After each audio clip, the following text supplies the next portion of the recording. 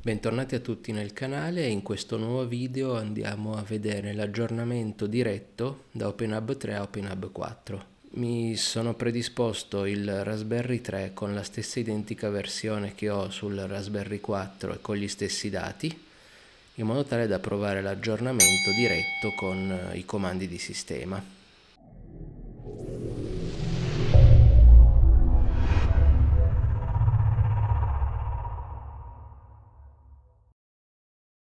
Ok, ripartiamo dalla nostra installazione di OpenHub 3 sul Raspberry 3, in modo tale da replicare la configurazione che ho sul Raspberry 4 e provare la, l'aggiornamento a OpenHub 4. Lanciamo quindi un restore di uno degli ultimi backup che ho del Raspberry 4 e importiamo i dati. Importazione finita, adesso riavviamo OpenHub e aspettiamo.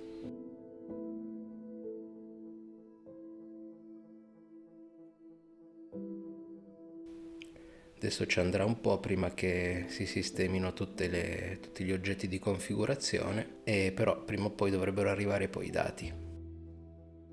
Andiamo a controllare un po' la configurazione mentre aspettiamo che venga tutto ripristinato correttamente. Speriamo.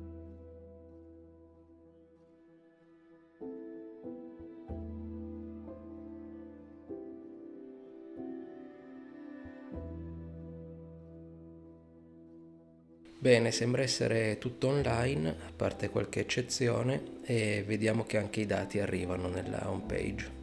Andiamo quindi adesso ad aggiornare la nostra installazione di OpenHub 3, replica di quella che ho sul Raspberry 4, e la andiamo ad aggiornare con la Milestone versione 4. In questo momento è uscita la Milestone 2 e quindi proveremo l'aggiornamento alla Milestone 2. La prima cosa da fare seguendo la documentazione è quella di andare ad aggiornare la versione di Java perché OpenHub 4 utilizza Java 17 mentre OpenHub 3 eh, utilizza una Java un po' più vecchia. Io al momento ho la Java 11 installata, andiamo a verificare.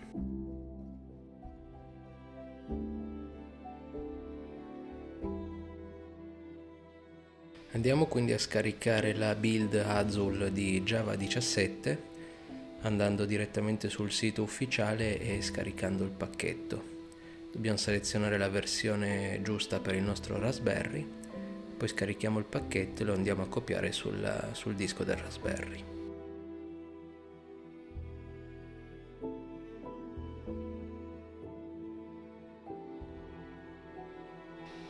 Una volta copiato il file sul Raspberry lo andiamo a scompattare in una cartella piacere.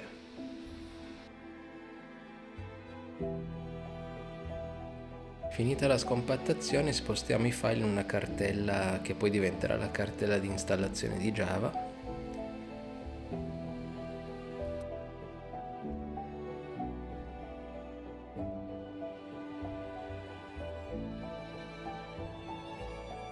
e poi facciamo una veloce prova per vedere che effettivamente la versione sia quella corretta. E adesso aggiorniamo il link che punta all'eseguibile Java alla nuova versione, quindi un nuovo path di installazione della Java 17.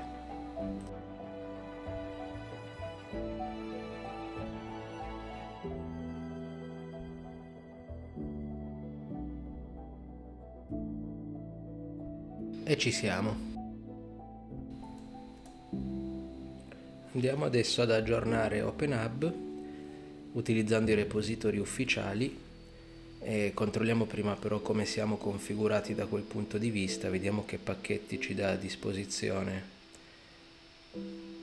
il repository ufficiale. Ok, come vedete l'unico aggiornamento che ci dà è all'ultima minor release della versione 3. Questo perché dobbiamo aggiornare i repository da cui andare a leggere i pacchetti. Siccome OpenHub 4 non è ancora stable ma è in testing, dobbiamo aggiornare il repository e andare a dirgli che vogliamo anche le versioni testing. Andiamo a aggiornare quindi un attimino i pacchetti.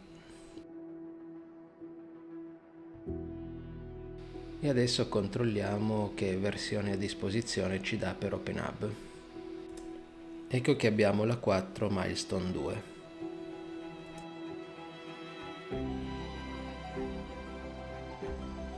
Possiamo quindi adesso lanciare l'aggiornamento alla versione 4. Aggiornamento completato, adesso facciamo un bel reboot. Riavvio effettuato, adesso andiamo a vedere tramite la console di OpenHub la versione attualmente installata. Ed ecco che è la milestone 2 della versione 4. Adesso verifichiamo lo stato del servizio, dovrebbe essere fermo, infatti, e quindi lo avviamo. Come prima adesso dobbiamo aspettare un po' per far sì che il sistema ricostruisca un po' tutti gli elementi e poi andiamo a vedere se i dati iniziano ad arrivare.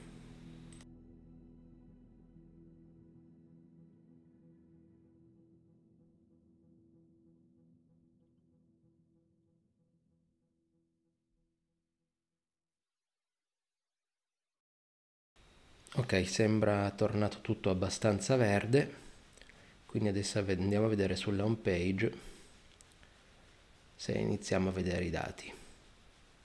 Ok, i dati ci sono, quindi diciamo che in linea di massima il sistema sta funzionando con la nuova versione.